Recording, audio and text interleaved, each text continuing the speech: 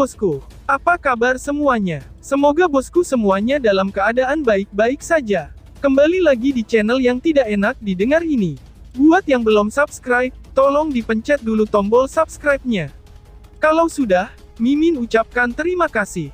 Baiklah, tanpa berlama-lama lagi, kita mulai alur fantasinya.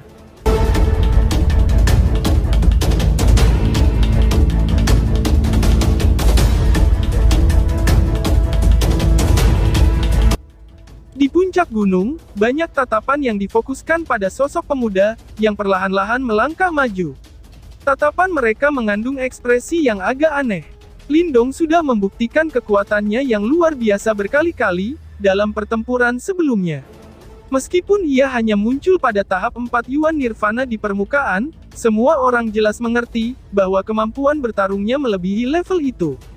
Dari cara mereka melihatnya, Lindong sudah memiliki kualifikasi untuk dibandingkan dengan Kintian. Namun, dalam situasi saat ini, bahkan Kintian telah benar-benar dikalahkan dengan mudah. Bisakah Lindong benar-benar mengubah keadaan ini? Ucap penonton. Lindong, gumam Cao Yu. Dari langit di atas, Cao Yu menunduk dan menatap Lindong. Sudut-sudut mulutnya terangkat, dan membentuk lengkungan aneh ketika dia dengan lembut berkata, Aku telah menyaksikan pertarunganmu sebelumnya, kekuatan kamu tidak buruk, tetapi, kamu masih bukan lawan yang pas buat aku. Aku akan menyarankan kamu untuk tidak coba-coba.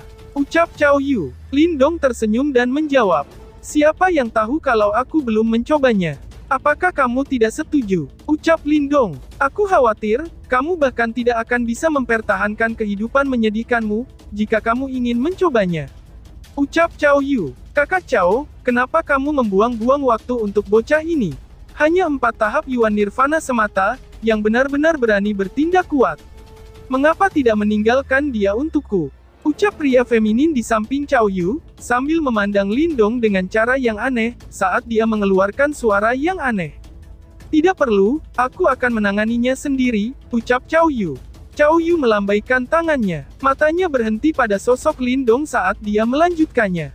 Orang ini tidak sesederhana yang dia tunjukkan. Meremehkannya, itu akan membuatmu membayar harga yang sangat mahal, ucap Cao Yu. Oh, seperti itukah? Ucap Chang Wei. Pria yang dikenal sebagai Chang Wei mengangkat alisnya. Dia jelas tidak setuju dengan kata-kata ini. Meskipun dia bukan salah satu praktisi top dalam generasi muda wilayah Suan Barat, Lindong dan yang lainnya, bahkan belum memasuki sekte super, sementara dia di sisi lain sudah dilatih dalam sekte super selama dua tahun. Perhatikan yang lain sambil membangun formasi, ucap Cao Yu. Cao Yu samar-samar memerintahkan, sebelum perlahan melangkah maju. Dia mengulurkan tangannya ke arah Lindong, melengkungkan tangannya sedikit saat dia berkata, Lakukan, izinkan aku untuk melihatnya, berapa banyak serangan yang bisa kamu tahan, ucap Cao Yu.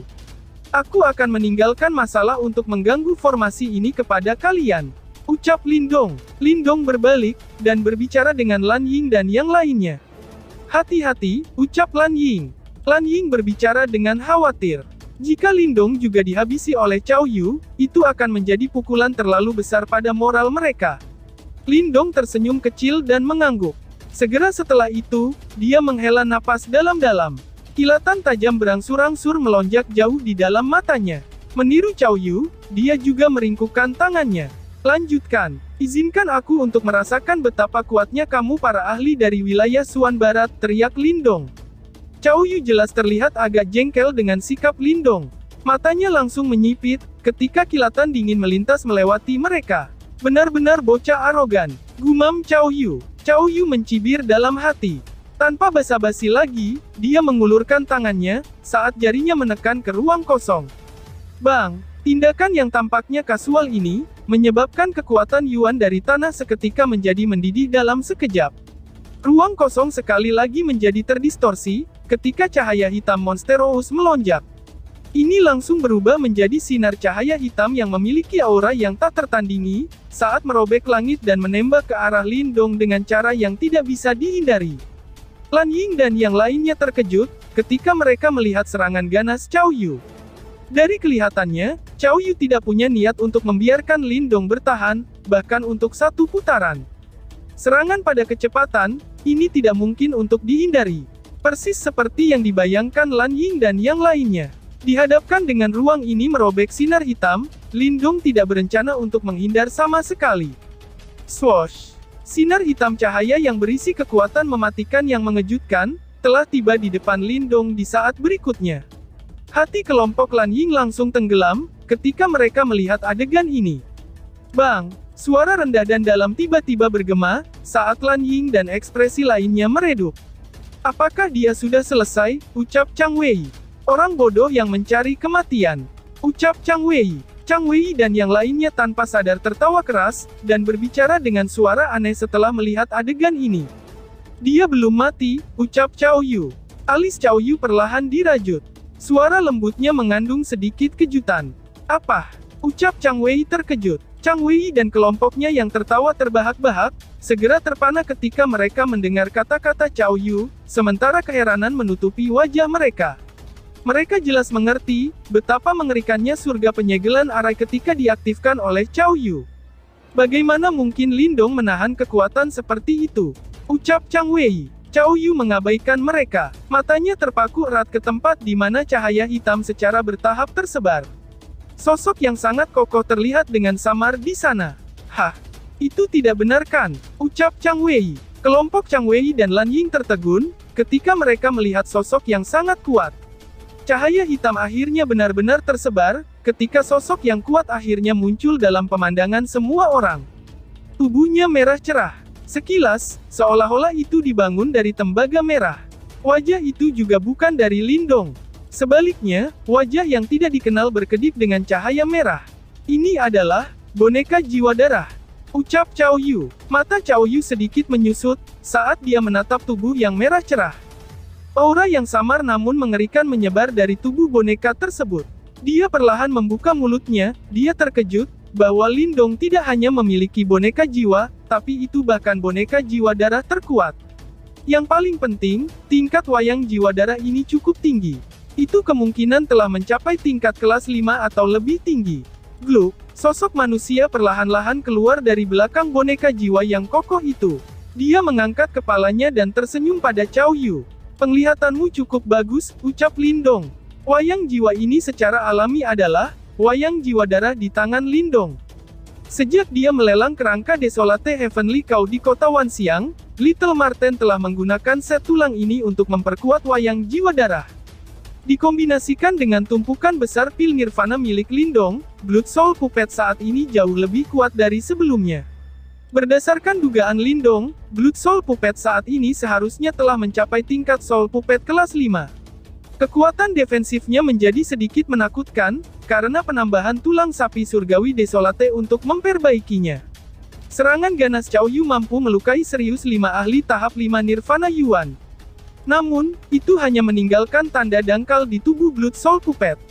Lindong, ucap Chao Yu. Kebahagiaan muncul di wajah Lan Ying dan wajah yang lain, ketika mereka melihat Lindong baik-baik saja. Jelas, mereka tidak pernah membayangkan, bahwa Lindong akan benar-benar menggunakan wayang jiwa untuk memblokir serangan Chao Yu. Itu memang wayang jiwa darah yang kuat. Namun, aku bertanya-tanya, berapa banyak serangan aku yang bisa kamu tahan? Ucap Chao Yu sambil tersenyum, dengan sikap acuh tak acuh. Kamu akan tahu, begitu kamu mencobanya. Ucap Lindong. Lindong menyeringai. Segera, ketajaman melintas di matanya. Kakinya menginjak tanah saat tubuhnya bergegas keluar.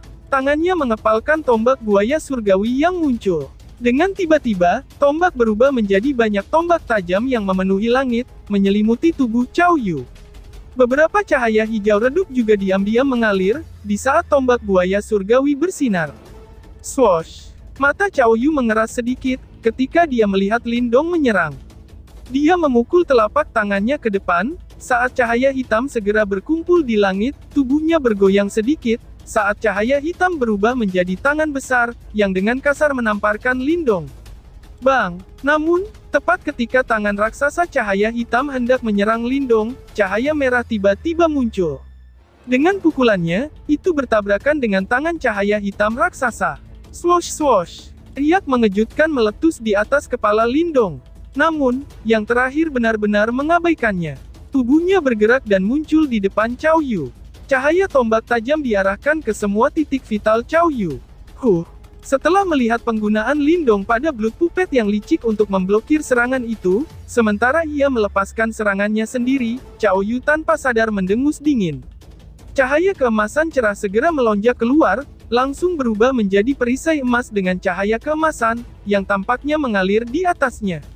Dentang dentang dentang, tombak tajam bersinar kejam menghantam perisai emas. Namun, itu hanya menyebabkan beberapa percikan muncul, dan jelas tidak dapat menghancurkan pertahanan yang terakhir. Hanya ini yang kamu miliki. Ucap Cao Yu. Cao Yu mencibir. Namun, ejekannya baru saja terbentuk, ketika matanya tiba-tiba mengeras. Dia menyadari, bahwa tombak bersinar tidak segera menghilang, setelah dihancurkan secara terpisah. Sebaliknya, banyak cahaya hijau keluar dari dalam mereka, cahaya hijau ini tampak seperti tombak hijau. Sisik-sisik itu melintas sebagai riak yang samar, tapi sangat tajam menyebar darinya. Cici-cici, sisik hijau seperti hujan. Mereka tiba dengan cepat dan tanpa ampun memukul perisai emas. Kali ini, tidak ada percikan api. Timbangan hijau menembus perisai emas yang tak tertandingi, sebelum bergerak menuju titik-titik vital Cao Yu dengan kecepatan yang menakjubkan. Ini adalah serangan yang sebenarnya ya, ucap Cao Yu. Adegan yang mendadak ini, juga menyebabkan Cao Yu terkejut. Serangan Lindong sebelumnya hanyalah tipuan. Serangan sebenarnya adalah sisik-sisik ini, yang tersembunyi di dalam tombak bersinar. Kamu memang sedikit ada kecerdikan, tapi itu tidak berguna untukku. Ucap Cao Yu. Mata Cao Yu berubah dingin. Tubuhnya bergetar sedikit ketika ruang di sekitarnya menjadi terdistorsi. Cahaya hitam menyebar dari area yang terdistorsi ini, membentuk lingkaran cahaya yang menutupi tubuhnya. Dentang-dentang, sisik hijau yang sangat tajam menabrak penghalang cahaya. Namun, mereka tampak seperti batu yang tenggelam ke laut, sisik-sisik itu tidak menyebabkan kerusakan, karena sisik-sisik itu benar-benar menghilang. Lindong, ranah di sini sudah dicakup oleh arai penyegelan surga. Aku bisa meminjam sebagian dari kekuatannya. Lupakanlah untuk terus melawan aku. Bahkan, jika kalian semua harus menyerang, kalian tidak akan bisa melakukan apa pun padaku. Ucap Cao Yu. Cao Yu berdiri di dalam lingkaran cahaya saat dia mencibir. Swoosh. Namun, Lindong benar-benar mengabaikan Cao Yu. Dia menekan dengan ujung kakinya saat tubuhnya menembak ke langit. Dia duduk bersila di langit, di tengah-tengah banyak mata orang yang tertegun, Sementara gelombang energi mental yang kuat, tiba-tiba tersapu keluar dari istana Niwannya. Kekuatan mental seperti badai yang membentang. Selain itu, itu menyebar dengan kecepatan yang mengerikan. Seolah-olah gunung berapi yang telah ditekan selama beberapa tahun, akhirnya meletus. Gemuruh, awan gelap tiba-tiba berkumpul di langit, di saat energi mental Lindong meletus dan angin gila mengamuk di sekitarnya. Adegan ini mengejutkan semua orang. Sesaat kemudian, mereka menghirup dengan keras. Apakah itu percobaan petir angin? Ucap Sao Yu. Tiba-tiba, dua ar, majestic mental energi tersapu di langit seperti badai. Segera, embusan angin kencang meraung di atas tanah tanpa henti, menciptakan pemandangan yang mengerikan. Ketika energi mental terus melonjak, awan badai dengan panik mulai berkumpul di langit. Sementara itu, kilat berenang melalui awan badai seperti ular, saat guntur bergemuruh di seluruh area. Semua orang menyaksikan adegan ini dengan kaget. Tentu saja, mereka agak kaget dengan Wind Lightning Trial. Bagaimanapun, semua orang di sini cukup terampil, dan bahkan ada beberapa dari mereka yang berspesialisasi dalam energi mental, dan tidak bisa lebih akrab dengan percobaan petir angin. Dengan demikian, alih-alih dikejutkan oleh Wind Lightning Trial, mereka dikejutkan oleh tindakan Lindong. The Wind Lightning Trial dan Nirvana Tribulation secara bersama-sama. Bahkan seorang guru simbol akan mencari tempat yang damai untuk menjalani penerobosan seperti ini. Namun, Lindong telah memilih untuk mengaktifkan penerobosan ini, saat dia menghadapi lawan yang menakutkan seperti Cao Yu. Langkah Lindong benar-benar membingungkan semua orang di sini. Apakah orang itu berencana untuk menggunakan trik yang sama lagi? Ucap Lan Ying. Lan Ying dan yang lainnya terkejut, sebelum kecemasan muncul dengan cepat di mata mereka. Cao Yu bukan Song Zhen. Selanjutnya, Lin Dong hanya mampu melakukannya sebelumnya, karena dia menggunakannya secara tidak konvensional. Pada saat itu, tidak ada yang menyadari, bahwa dia diam-diam menjalani kesengsaraan nirvana. Namun, situasi saat ini berbeda. Tidak hanya Cao Yu jauh lebih kuat dari Song Zhen, Wind Lightning Trial juga menyebabkan gangguan besar. Karena itu, orang bodoh akan tahu apa yang dia lakukan. Apakah dia benar-benar berpikir Cao Yu cukup bodoh untuk meninggalkan kesempatan seperti itu? Ucap Lan Ying. Di samping mereka, Liu Bai, Mo Ling, Sukui, dan yang lainnya, bertukar pandangan satu sama lain ketika mereka melihat tindakan Lindong. Ada jejak kekhawatiran di mata mereka.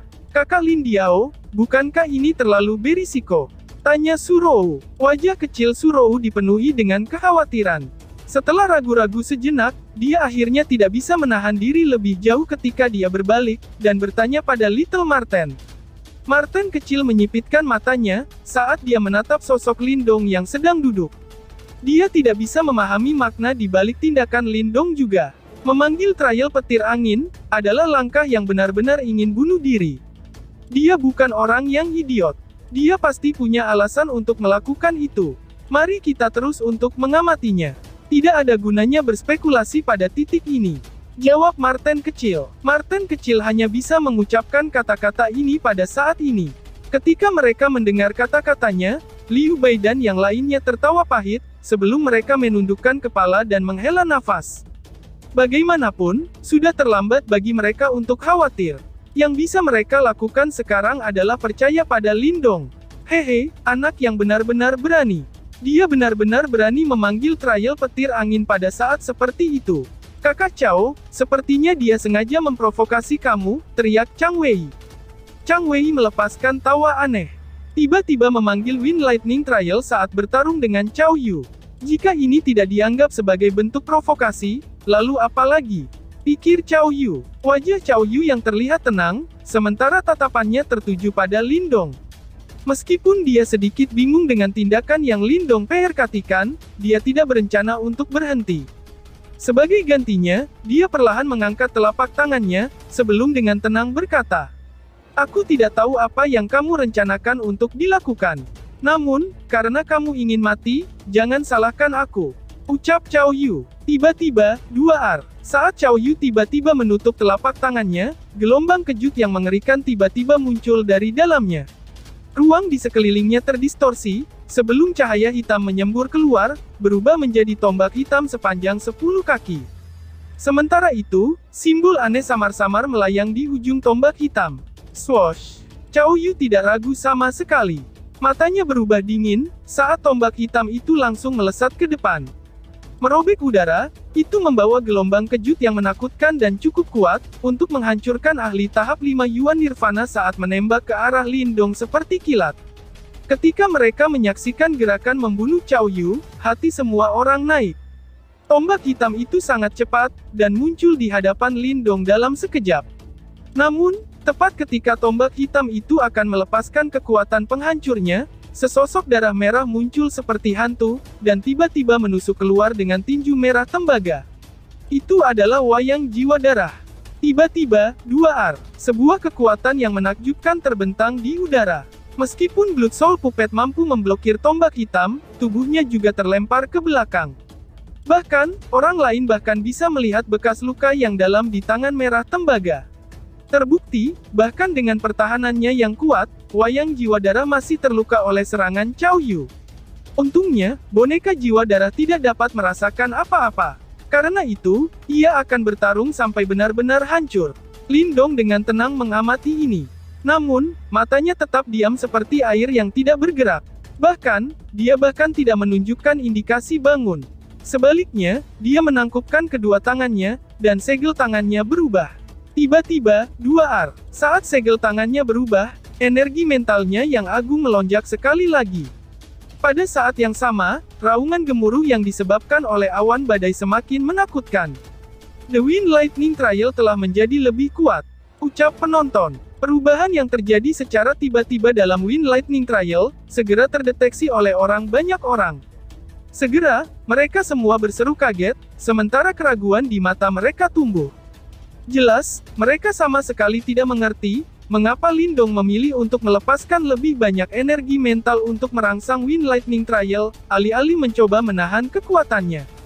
Kekuatan Wind Lightning Trial ini telah melampaui tahap kedua. Ada beberapa ahli di sini yang berspesialisasi dalam energi mental. Ketika mereka melihat gelombang dari awan badai, mereka bisa merasakan tahap uji coba yang gila. Huh, ekspresi ganas yang samar melintas di wajah Chow Yu. Jelas, bahwa dia diam-diam khawatir tentang tindakan aneh Lindong jauh di dalam hatinya. Dengan segera, dia dengan ganas mengambil langkah ke depan, dan menjentikkan sepuluh jarinya. Cahaya hitam di cakrawala bergetar, tampaknya memenuhi langit, saat terbentuk menjadi pilar cahaya hitam yang tak terhitung jumlahnya, yang menghujani Lindong. Saat pilar cahaya menyapu, sosok Koko Blood Soul Puppet sekali lagi muncul di depan Lindong. Cahaya merah darah gemerlap meletus dari dalam tubuhnya, karena melindungi Lindong seperti perisai bercahaya. Lihatlah Lindong, aku akan menghancurkan boneka jiwa darahmu berkeping-keping. Teriak Chow Yu. Chow Yu juga frustrasi oleh boneka jiwa darah milik Lindong. Segera, kilatan dingin melintas di matanya saat pilar cahaya hitam langsung melolong, dan menabrak boneka jiwa darah. Buk buk buk buk. Gelombang kejut yang mengerikan segera meletus di tubuh boneka jiwa darah, sementara gelombang energi mengamuk, membentak dengan panik. Saat cahaya hitam menghilang dengan cepat, tubuh Blood Soul Puppet muncul sekali lagi. Namun, kali ini, ada beberapa luka mengejutkan di tubuhnya. Beberapa retakan mulai menyebar ke seluruh tubuhnya, sementara darah merahnya telah meredup secara signifikan. Terbukti, bahkan dengan pertahanan yang kuat, itu tidak lagi bisa terlihat utuh sama sekali, setelah menerima begitu banyak serangan dari Cao Yu langsung. Pada tingkat ini, boneka jiwa darah Lindong tidak akan bertahan lama, ucap Lan Ying. Lan Ying dan yang lainnya mengenakan ekspresi suram, saat mereka menatap keadaan boneka jiwa darah Lindong, sementara tinju mereka tanpa sadar mengencang. Menilai dari situasi saat ini, sepertinya Lindong ingin menggunakan boneka jiwa darahnya untuk memberinya waktu tambahan. Bisakah boneka jiwa darah benar-benar memberikannya cukup waktu untuk menjalani percobaan petir angin? Pikir Lan Yin, gemuruh. Sementara Lan Ying dan yang lainnya cemas dalam hati mereka, awan badai di langit mulai bergejolak, bahkan lebih keras. Sementara itu, gelombang kejut yang ada di dalamnya semakin menakutkan. Percobaan petir angin menumpuk, ucap penonton. Sementara keributan di dalam awan badai semakin menakutkan, sebuah teriakan kaget tiba-tiba meletus di puncak gunung. Seorang ahli yang berspesialisasi dalam budidaya energi mental menatap kaget ke langit. Ekspresinya seolah-olah dia melihat hantu. Menumpuk trial petir angin, Ucap praktisi energi mental. Ketika mereka mendengar kata-katanya, jantung Lan Ying dan jantung orang yang lainnya berdegup kencang. Apa yang dia pikirkan? Mungkinkah Lindong tidak hanya memanggil satu Wind Lightning Trial? Apakah dia malah menumpuknya bersama? Ucap praktisi energi mental. Ketika pikiran mereka mencapai titik seperti itu, ekspresi mereka menjadi sangat menarik. Menyatukan energi mental tidak sesederhana menambahkannya bersama-sama. Percobaan pencahayaan angin telah mencapai tahap ketiga. Dia berencana untuk menjalani tahap kedua dan ketiga bersama-sama. Di atas gunung, orang lain menjerit. Itu tidak benar, percobaan petir angin masih menjadi lebih kuat. Ya Tuhan, orang gila ini. Apakah dia berencana untuk menumpuk tiga uji coba bersama? Bahkan enam segel simbol guru dapat mengatasinya. Ucapan para penonton yang terkejut. Serangkaian seruan kaget terus terdengar di puncak gunung. Selain itu, setiap kali suara terdengar, Lan Ying dan jantung lainnya akan berkedut dengan keras. Menyusun tiga uji coba bersamaan. Kekuatan seperti itu mungkin bisa memeras enam ahli tahap Nirvana Yuan menjadi bubur. Apa yang direncanakan Lindong untuk lakukan? Ucap seseorang. Gemuruh. Di langit, awan badai bergejolak secara manual. Sementara itu, cahaya kilat yang mengalir melalui awan-awan, tumbuh dari ketebalan awalnya berukuran lengannya, hingga seukuran beberapa kaki saat ini terlihat lebar. Dari kejauhan, tampak seperti naga petir mini terbang di dalam awan. Martin kecil mengangkat kepalanya, tatapan aneh di matanya, saat dia menatap pemandangan ini. Setelah itu, dia berbalik untuk melihat Lindong, yang duduk di bawah awan badai, saat kilatan inspirasi melintas di matanya. Apakah dia berencana untuk meminjam kekuatan Wind Lightning Trial? Dasar orang gila, gumam Martin kecil, lalu, bersambung. Sekian dan terima kasih banyak.